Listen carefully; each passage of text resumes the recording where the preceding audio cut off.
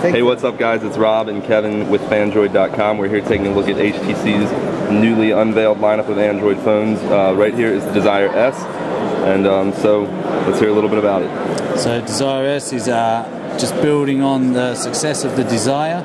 We've taken um, an iconic design and just made it uh, slimmer, smaller. So we've still got the same 3.7 inch um, LCD, Super LCD display. We've shrunk down the body. Got a front-facing camera here. If I just turn it over, can actually see we've, we've gone with our new design language and using the, the unibody aluminium construction. Nice and solid. Got a 5 megapixel camera with a flash in the back there.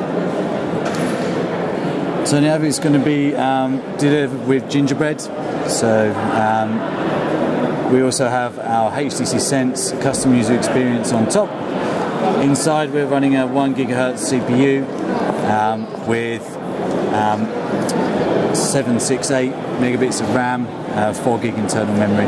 So highly spec device.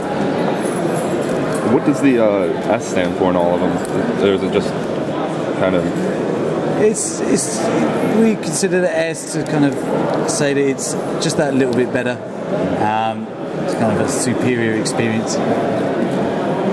So that's a look at the Desire S's specs. Here's just a little bit of the interface there, and this is the new the new version of HTC Sense. Yeah, so it's really uh, pretty much the same as it is on um, Desire HD and Z, as you've seen before. They've just added a couple of tweaks now. You can actually favorite some of your applications and actually view the ones that you've downloaded in the menu so it just gets to things quicker. Uh, still uh, manage that with sense.com so you can you know erase your device etc um, remotely but essentially the software is the same. All right, so that's the Desire S from HTC here at Mobile World Congress.